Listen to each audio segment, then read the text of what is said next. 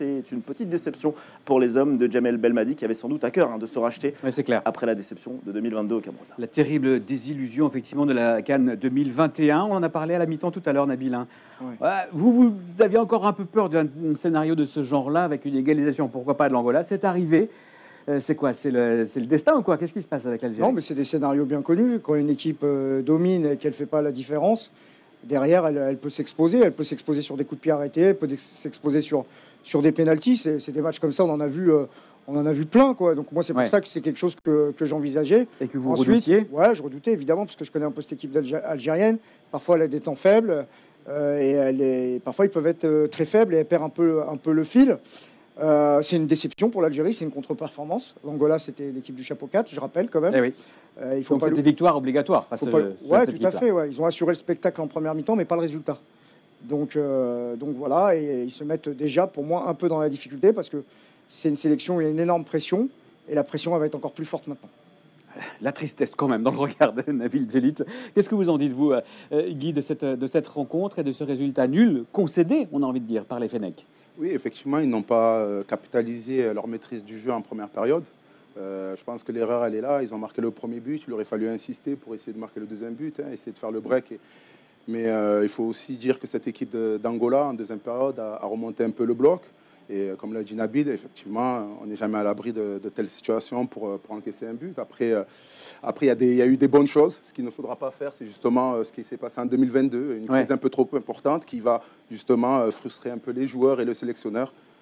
Et on connaît euh, la suite. On connaît ce qui s'est passé effectivement du côté du Cameroun. Et s'il y avait un joueur à sortir pour illustrer un petit peu cette désillusion algérienne, ce serait peut-être Ben Taleb, qui a eu un match compliqué et qui a fini un peu épuisé. Oui, on, on voulait suivre avec attention forcément la performance également du, du Lillois dans, dans le milieu de terrain euh, algérien. Et c'est vrai que Nabil Ben Taleb a été quelque peu en, en difficulté dans cette rencontre, notamment euh, en deuxième période. On, on va le voir hein, lorsqu'il a été euh, sanctionné d'un d'un carton jaune à cet instant par, par l'arbitre du match. Et progressivement, Claude, on a l'impression qu'il est rentré dans le rang. C'est d'ailleurs lui hein, qui euh, coûte ce, ce penalty euh, aux, aux Angolais. Il est fautif sur le penalty. Il a été remplacé hein, derrière euh, par Zerouki à la 72e minute. Est-ce qu'on aurait dû faire ce choix peut-être un peu plus tôt dans ce match?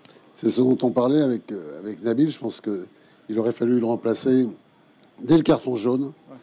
Parce que, il- bon, faut savoir qu'il joue à Lille, qu'il se retrouve aussi conditions cli- climatiques qui ne sont pas tout à fait les mêmes. Donc, euh, c'est un joueur qui n'a pas une grande vitesse gestuelle, qui a une, une super patte gauche, qui est capable de trouver des solutions tout le temps. Et là, il, est, il concède le penalty parce qu'il est cuit et parce que surtout, au niveau gestuel, mais il est pris de vitesse par Mabouloulou qui vient de rentrer, qui lui est frais, qui lui passe juste devant et ça suffit pour, pour la concession de ce, de ce penalty. Donc je crois que moi, je ne pensais jamais, très sincèrement, que les Angolais allaient revenir dans ce le que match. vous nous disiez à la mi-temps, Oui, je pensais qu'il y avait une marge très importante, et techniquement et tactiquement, avec euh, l'équipe algérienne. Mais, Et donc, euh, comment vous expliquez bah, parce, parce que je crois qu'il y a des moments dans le foot, et surtout dans une Coupe d'Afrique des Nations, et surtout sur un premier match, où les temps de préparation n'ont pas été les mêmes entre des équipes locales, quelquefois, qui ont pu travailler plus longtemps, et puis des équipes d'expatriés qui arrivent un petit peu de tous les coins du Ouais. monde, que de temps en temps, il faut faire des changements beaucoup plus vite dans, dans ces matchs-là. Je pense que Jamel euh, n'a pas fait les changements qu'il fallait euh, assez vite. Il a, attendu, il a attendu ses faits de jeu pour faire des changements, mais quelquefois, il faut anticiper. Et en revanche, il y a un changement qui a été manifestement payant pour cette équipe de, de l'Angola. C'est ce joueur que vous nous citiez euh, juste avant le, le c'est match. Claude qui l'a repéré. C'est ça, Mabouloulou. L'entrée de Mabouloulou a, a changé la donne. Ouais, voilà, on l'attendait comme, comme titulaire et, euh, et il a fait. bah, le coach, le coach angolais, lui, euh, ce soir, c'est euh, c'est 10 sur 10. Quoi. Il a fait le changement efficient, euh, tout simplement. Et puis derrière, euh, bah, c'est l'homme qui est décisif en provoquant la faute et puis en marquant ce penalty. Ça reste donc une nouvelle surprise euh, dans, dans ce premier tour euh, de la Cannes 2023. Est-ce que malgré tout, vous conservez votre statut de favori pour ces Fennecs algériens? Oui, oui. Je pense que sur leurs 35 premières minutes, euh, ils, ont, ils ont été très bons. Ils ont ils m'ont même impressionné dans leur qualité collective, Ouais. avec des joueurs majeurs qui ont été complètement absents. C'est-à-dire que Riyad Mahrez, Marley- transparent. Un peu, Sadio Mané un petit peu moins avec le Sénégal, mais bon, une passe décisive, mais il a quand même pas beaucoup pesé dans le jeu.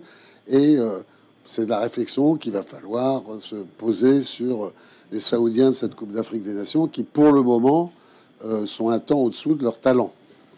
On rappelle que Riyad Mahrez évolue effectivement dans cette Saudi Pro League à Al Ali. Contre-exemple, c'est Kofofana. Comment Contre-exemple, c'est Ah, non parce, que je trouve, non, parce que je trouve que Seko Fofana a eu des fulgurances, mais il a pas eu est- C'est pas du tout le Seko Fofana. c'est quoi de C'est une question de rythme? Oui, j'ai l'impression. Il a effectivement été le meilleur de, de tous ces joueurs. C'est Ouais. Fofana, il marque un but magnifique. Il, a, il se crée une occasion aussi où il frappe, enfin le gardien des, des vies sur la transversale. Mais il a été beaucoup moins présent sur 90 minutes en quantité de courses et en redoublement d'efforts que ce qu'il était, que ce qu'il était à Lens, même s'il a, il a quand même pesé dans ce match. Et moi, je crois que euh, là, on, on se retrouve dans un début de compétition naturelle de Coupe d'Afrique Nations et que les choses vont petit à petit se solidifier pour les grandes équipes Ouais. dont fait partie pour moi l'Algérie. Bon, on verra, le football, c'est la permanente ouais, école de à- À nouveau l'humilité. hein. déçu pour cette, cette compétition, compétition-là. En revanche, même si Marez a été un petit peu en dessous de son niveau habituel, il y a des joueurs qui se sont ouais. transcendés, notamment sur la première période. On a, on a souligné à la mi-temps euh, l'activité de Belaïli et, et puis l'efficacité de Bounedja. Ouais, c'est la, c'est la connexion euh, oranaise. Ces deux joueurs ori- originaires Ouais. d'Oran, c'est pour ça qu'on les voit danser ensemble après, euh, après le but. C'est un premier gaou à Oran pour Belaïli et, et, et Bounedja. Bah, Belaïli et Bounedja, en fait, sur la première mi-temps, en, en gros, ils symbolisent l'Algérie 2019. Et la deuxième mi-temps, on a vu l'Algérie 2022, tout simplement. Ça, Celle qui était au Cameroun et qui, a- qui est passée à côté. Et si on fait un mélange des deux, c'est bah, l'Algérie on attend 2024. maintenant l'Algérie 2024. Ouais. Voilà. Il Bon. faut arriver à. Allez, hey, une petite note d'espoir. Vous auriez pu mener 2 à 0 à la pause. C'est incroyable, les amis, c'est incroyable. Comme la canne nous réserve des surprises. Comme la canne nous réserve des surprises, les amis. L'Algérie fait 1-1 contre l'Angola. Salut à toi et bienvenue dans cette vidéo. Dans cette vidéo, on va revenir sur le match entre Algérie et Angola. Mais avant de commencer, si tu me découvres à travers cette vidéo, ici on parle de foot, ici on est passionné par le foot. Le foot, c'est notre passion. Donc, si tu es intéressé par la thématique, et si tu, si tu aimes ce contenu, N'hésite pas à t'abonner, d'activer la cloche de notification pour ne rien manquer des prochaines vidéos qui vont arriver sur la chaîne. Si c'est fort, on est parti. Alors, l'Algérie a fait match nul contre l'Angola. Personnellement, moi, je n'y croyais pas. C'était quasiment imprévisible. Tout le monde savait que non, l'Algérie va écraser l'Angola. L'Algérie va en faire une bouchée de l'Angola. Sauf que, sauf que, l'Algérie est tenue en échec. Un but partout. Surtout que l'Algérie a ouvert la marque. hein. Ils ont ouvert la marque en début de match par Bounja. Bardam Bounja, il a ouvert la marque. Et lorsqu'on voit comment Bounja ouvre la marque, on se dit non, l'Algérie va en faire une bouchée, ils vont surclasser l'Angola. Mais sauf que lorsque tu joues avec un petit, si tu ne tues pas le match, si tu ne tues pas le match, tu n'es jamais à l'abri d'un corner, d'un tir contré, d'un coup de pied arrêté. Bref, tu n'es pas à l'abri d'une égalisation. Tu n'es pas à l'abri. L'Algérie a essayé de mettre le deuxième but. Ils ont marqué un deuxième but. Euh, Boundia a marqué un super but, mais il était hors jeu. Un hors jeu très limite, mais c'est quand même un hors jeu. C'est un hors jeu très limite, mais c'est un hors jeu. Donc, Boundia marque le deuxième but, mais il est hors jeu. L'Algérie a essayé de tuer le match. L'Algérie a essayé de mettre le deuxième but, mais ils n'y sont pas parvenus. Ils ne sont pas parvenus. Parce que quand tu joues avec un petit, lorsque tu marques rapidement, tu dois faire l'effort de mettre le deuxième but. Sinon, tu n'es pas l'abri d'un corner, d'un tir contré, bref, un coup de pied arrêté. Tu n'es pas l'abri de cela. Tu n'es pas l'abri. Malheureusement, euh, le seul tir cadré de l'Angola, c'est ce penalty marqué. Le seul tir cadré, il cadre un tir, il marque un but. Efficacité maximale. Sans le penalty là, moi je ne sais pas comment l'Angola devait faire pour marquer le but. hein. Je vous assure les gars, sans ce penalty là, je ne sais pas comment l'Angola devait faire pour marquer le but. Parce que moi je ne voyais pas l'Angola produire du jeu. Moi je ne voyais pas l'Angola faire du jeu. Je ne voyais pas l'Angola se rapprocher vraiment euh, des buts de l'Algérie. Je ne voyais pas l'Angola se procurer d'énormes occasions. Donc sans ce penalty là, l'Algérie devait gagner son match, mais le penalty fait partie du jeu. Le penalty fait partie du jeu.